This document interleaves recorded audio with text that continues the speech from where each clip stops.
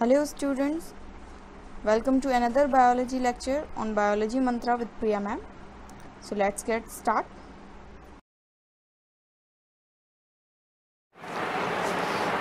so in the last lecture we have talked about the types of nutrient cycles जिसमें हम लोगों ने गैसीय साइकिल सेडिमेंट्री साइकिल इन सारे टाइप के साइकिल्स की बात कर ली थी और इनके कुछ एग्जाम्पल्स को भी हम लोगों ने पढ़ा था, जैसे गैसीय साइकिल में आता है कार्बन साइकिल तो आज हम लोग फ़र्स्ट मेजर साइकिल की बात करते हैं which is carbon cycle exam में आप लोगों के कोई भी साइकिल आ जाए, कोई भी no matter it is carbon cycle nitrogen cycle sulphur cycle phosphorus cycle कोई बात नहीं, कोई भी साइकिल आता है तो उसमें हमेशा से आपको एक ही चीज़ ध्यान रखनी है कि आपको इन तीन पॉइंट्स में पूरा का पूरा साइकिल कवर करना है.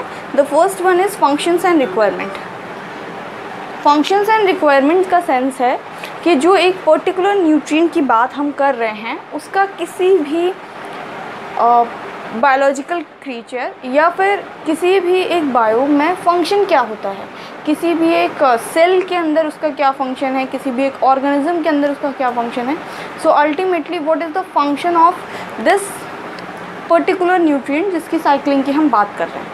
Next is source of that nutrient उस पर्टिकुलर न्यूट्रिएंट का सोर्स क्या है कहाँ से वो ऑप्टेन होगा और किस फॉर्म में ऑप्टेन होगा?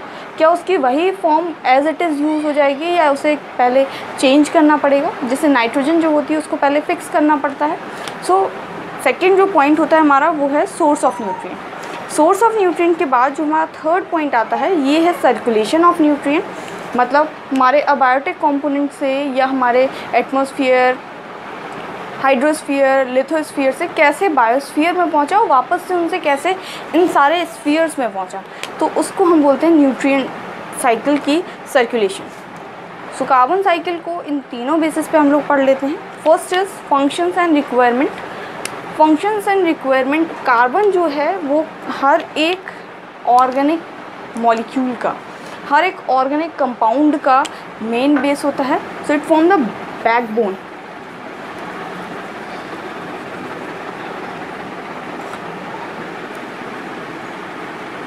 backbone of complex organic material कोई भी ऑर्गेनिक मटेरियल की हम बात कर सकते हैं। हमारी बॉडी में या किसी भी एक सिंगल सेल में जो ऑर्गेनिक मटेरियल होते हैं these are the lipids carbohydrate protein तो ये सारे के सारे जो हमारे लिविंग कंपोनेंट्स हैं या हमारे ऑर्गेनिक मटेरियल हैं, इन सारे ऑर्गेनिक मटेरियल की बैकबोन क्या होता है? कार्बन कार्बन हाइड्रोजन ऑक्सीजन इन सब के साथ में मिलकर बनाता है। हाइड्रोकार्बन्स को लाइक कार्बोहाइड्रेट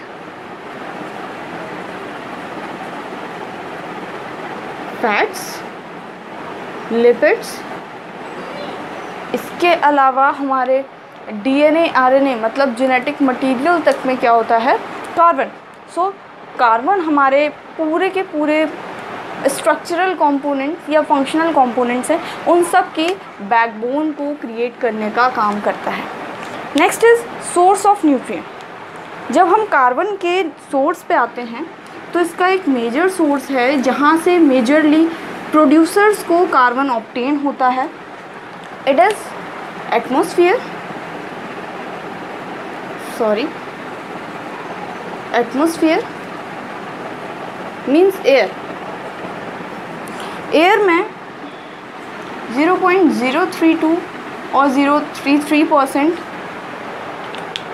कार्बन डाइऑक्साइड होता है। कार्बन डाइऑक्साइड को plants as it is inhale करते हैं और हम बोल सकते हैं कि उस गैस को अपने अंदर लेते हैं और उससे करते हैं फोटोसिंथेसिस का वर्क इसके अलावा लिथोस्फीयर में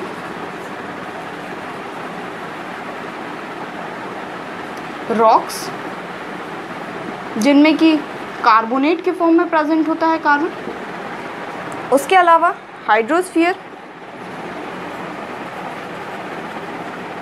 हाइड्रोस्फीयर जैसे ओशंस वगैरह, जिनमें बड़ी बड़ी चट्टानें या चूने के पत्थर नीचे पड़े रहते हैं, कुछ कार्बोनेट्स के फॉर्म में पड़े रहते हैं, या फिर वाटर में डिज़ोल्व कार्बन डाइऑक्साइड प्रेजेंट होती है।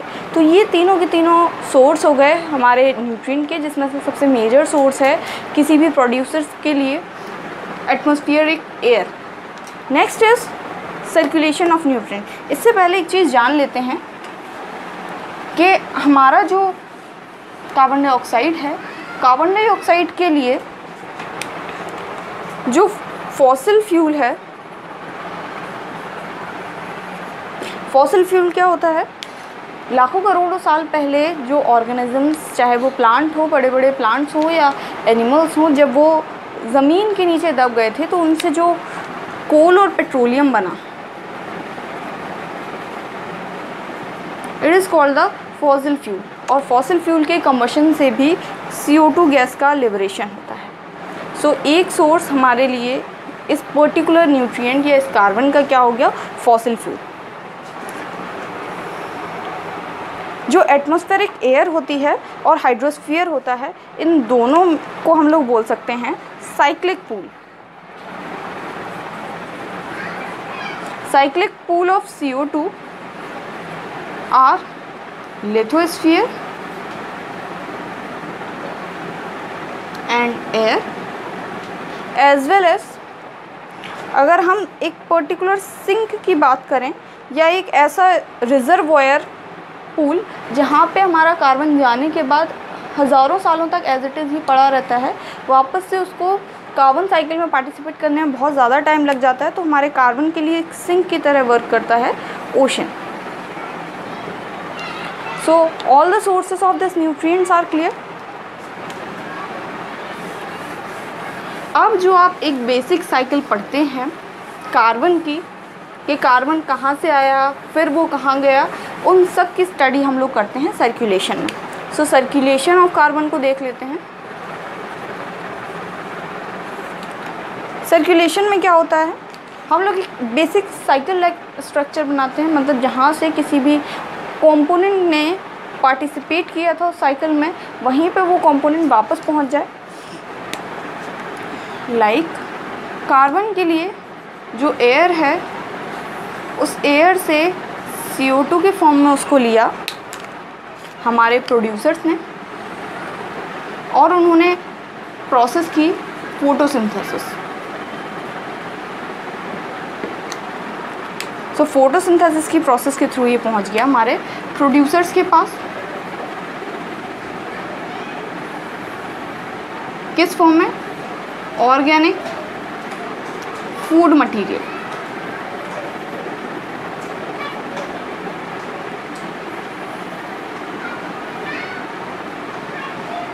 इस ऑर्गेनिक फ़ूड मटेरियल को, क्योंकि आपको पता है इकोसिस्टम में मैं आपको बता चुकी हूँ कि हमारे पूरे के पूरे इकोसिस्टम में जितने भी कंज्यूमर्स हैं, उन सब के लिए डायरेक्टली फ़ूड मटेरियल प्रोड्यूसर्स या ग्रीन प्लांट्स ही प्रोवाइड कराते हैं डायरेक्टली और इनडायरेक्टली अगर हर्बी बोर है तो डायरेक्टली फ़ीड कर लेगा किसी प्लांट पर, और अगर कार्नी बोर है तो वो किसी हर्बी बोर पर फ़ीड करेगा। सो हर्बी बोर और इसको भी फ़ीड किया किसी एक कार्निवोर ने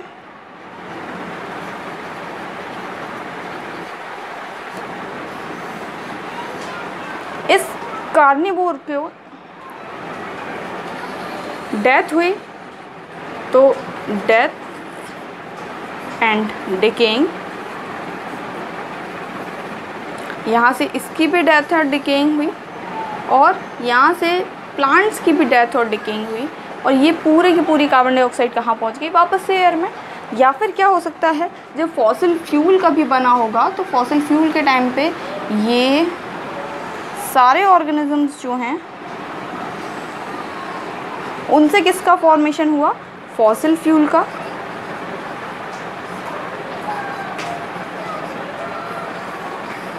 और फॉसिल फ्यूल के कंबशन से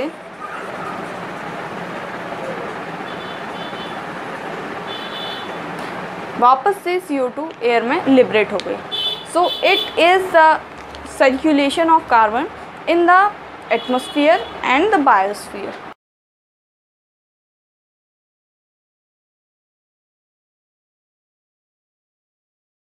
so it is all for today in the next lecture we will talk about other cycles like phosphorus sulfur and nitrogen cycle उससे पहले एक चीज़ और जाननी ज़रूरी है कि कार्बन की जो साइकिलिंग है, वो एक परफेक्ट गैसीय साइकिल है।